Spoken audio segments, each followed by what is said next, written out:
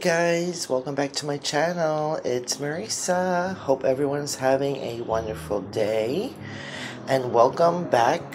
Um, this is part two of my ode to Markiplier.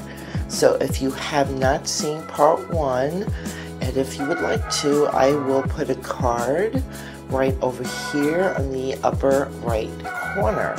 Um, I you know, send a little message to Mark, and I just did something really cute for him uh, in the beginning, and also for people who don't know he who he is, you know, I just put a little information, and I think it came out really nice. So if you'd like, you know, go and watch that video. Alrighty, so this is the painting that I made yesterday. Sorry about the light. It's shining on a little bit, but um, it actually dried really, really nice. There is a slight bit of texture, but nothing crazy. And like I said yesterday, if there was texture, because of that Pouring Masters paint, it's not a bad paint, but it's not the best, you know?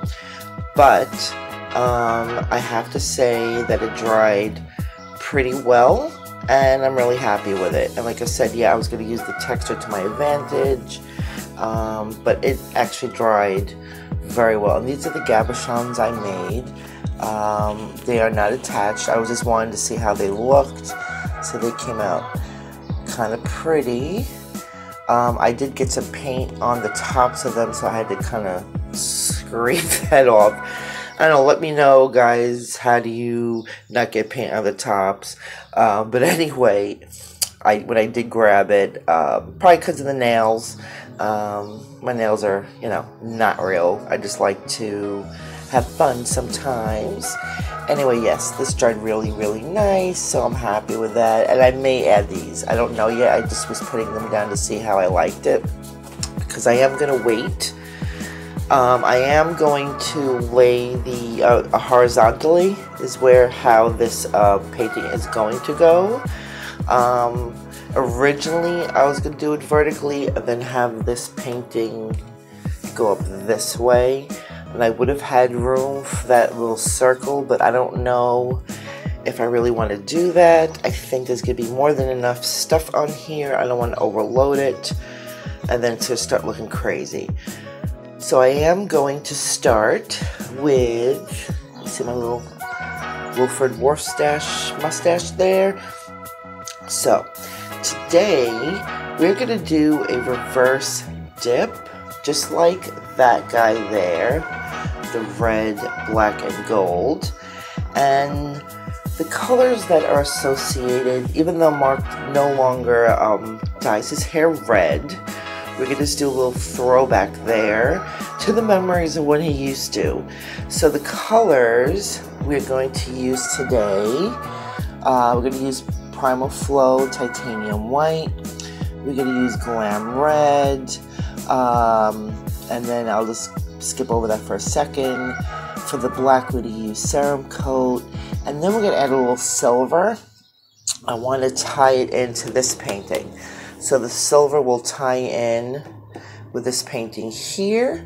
Okay, and add it to these paints is the Primal Flow Metallic Pouring Medium. I know you can barely read it because my bottle is filthy. And also, there is some Floetrol in there as well. Um, there is Floetrol in these two colors, the black and the silver. So I mix the metallic um, pouring medium and some Floetrol in the black and the silver only with the coat. And then we have the Deco Art uh, shimmering silver. That's the correct uh, name of it. Okay, and then on in this I have a little bit left. It's the last of it, and this is really filled. I've had this for months because um, I kept on buying paints. So this is the because you can't even read it. This is the Artist Loft pre-mixed, and this is titanium white but I also mixed the last of, I had a metallic white as well in the same brand, so it's mixed in together. There's not a lot left, but it should be more than enough for this guy here, okay? So I'm to prime, prime it with that, Alrighty, so we're do a reverse dip, and we're gonna do this guy. And I show you, I have the Gabachon. These I have to clean off a little bit. And then these are going to be, I've, you've seen these already if you watch my other videos preparing for this, for this video. Um, later on, we're going to add, so in another video, once this is dry, I'm going to go off on my own. I'm going to attach it to this painting here. Okay. And then in one more video, we're going to just add on everything that I want to add on. So I may add the Gabachon. Um, I'll see how, you know, this looks on here. And we'll see how it looks and maybe I'll add them, maybe I won't. It depends because um, I could always use the Gabach those Gabachon for something else. And then we're going to add the M and the and I mean I am going to use as a W for Wilfred Warfstache. Go look at my video from yesterday, you'll know who he is. And then I got a special um, stencil. Whew, almost lost my mind there for a minute. uh, for Wilfred's mustache. Okay, that's how I made these guys. And we are going to add it onto this painting. But we're going to do all that in one video, okay? And that's it. And then we'll have the reveal after. And then I was thinking about, um, I am probably going to do a short series on Jacksepticeye because honestly, they're both my favorite um, YouTubers. Uh, but I, I, have to be honest, I do watch Mark more, but it also depends on the type of game they're playing. But when I do when I do Jack um, video and series, you'll understand why. But yeah, I think I'm gonna wait till March because that's St. Patrick's Day, and I figure that would be really cool. Um, you know, it's a, during March, it's St. Patrick's Day, and uh, if you don't know, Jacksepticeye is Irish. So I thought that would be kind of cool to kind of honor him around the time of year that is St. Patrick's Day. Okie dokie. So let's get started and let's do this pour for Mark. Okay, so reverse dip. And these are the colors we're using. As usual, all my materials are in the description. Alright, guys, I will be back in a minute.